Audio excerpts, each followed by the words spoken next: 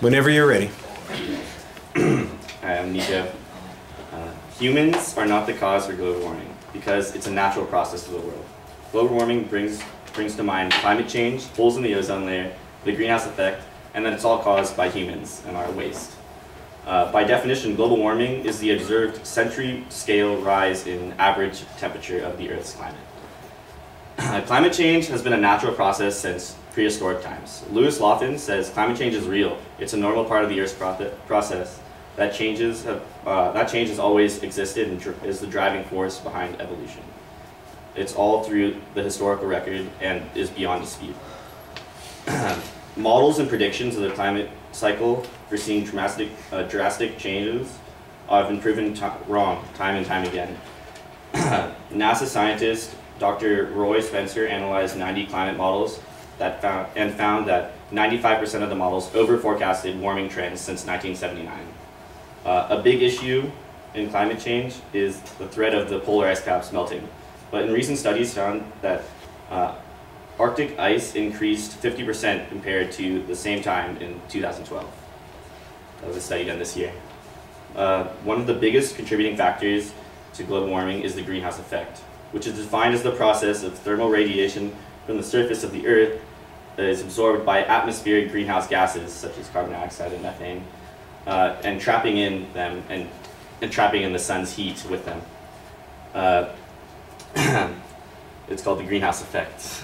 Uh, the bill created uh, a bill called the Kyoto Protocol proclaimed reducing carbon dioxide emissions uh, to 7% below 1990s levels by 2012, but at the cost of 2.4 million government jobs and a loss of 300 million in annual economic output from federal spending. The severe policy, if fully implemented, would reduce global temperature by 0.14 degrees Celsius in the year 21,000. yeah. the Oregon Institute petition, which was signed by 31,000 scientists, also found no convincing evidence, scientific evidence, that human, human release of carbon dioxide, methane, or other greenhouse gases is causing or will cause uh, any foreseeable, uh, will cause um, catastrophic um, heating in, to the Earth's atmosphere in this foreseeable future. Lastly, the ozone layer is not disappearing.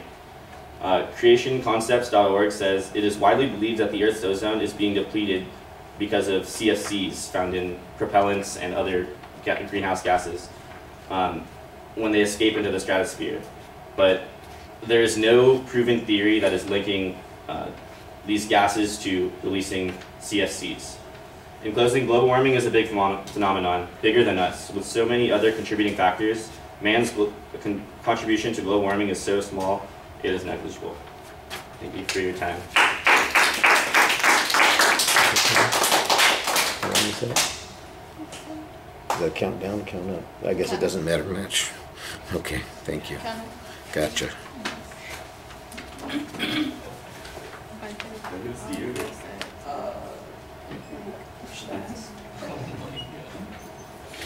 Does he get a copy of the speech too? Or? No. No, I don't think he should. I shouldn't either. Did you give me a copy of the speech? Yes, you did. That's not what I want.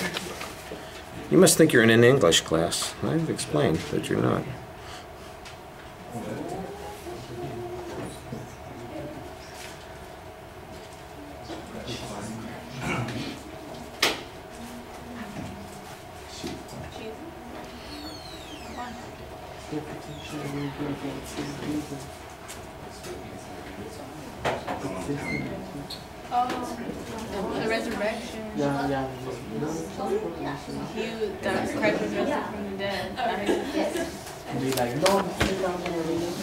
All right, Nico, just a few comments. Uh, your proposition, you start off with the proposition at the very beginning, so that's okay. Uh, that's pretty clear. What follows is a list of topic areas, but not really claims, and so I wasn't sure if that was a preview of what the structure was going to be and what the issues were, or if it's just a discussion of what it is that constitutes the elements of global warming that uh, people talk about.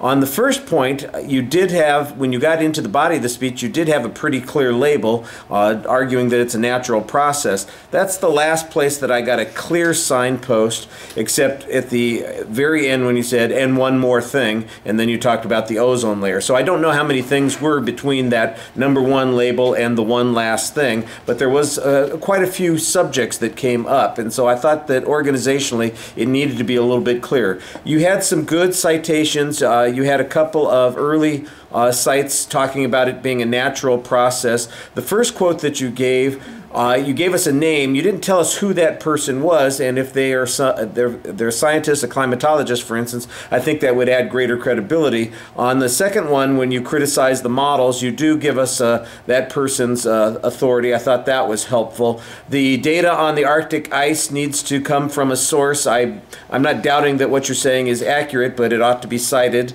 Um, you know, you talk about the Kyoto Protocol, which is almost two decades old now and clearly not in operation, and it talks about what the consequences would be. That's really a sep- uh, uh, if we tried to adhere to the Kyoto Protocol, that's really a, a separate issue from whether or not uh, the greenhouse gases contribute to global warming. Uh, the argument that there's a negative consequence of trying to fix it, I think, is a little bit problematic. And then on your argument about CFCs and the ozone layer, you say that there's no evidence on this however, the you're saying it doesn't make it true. Uh, if if there's an authority or an expert who's looked at what the argument is and denies this relationship, uh, then you ought to cite that person. Otherwise, it's just an assertion on your part. I think you're doing a lot of reading here at the end, and you had a lot of time left. You were only you know you only used about half your time, so I think it could have been fattened up a little bit and made to be a lot more convincing. All right, thank you.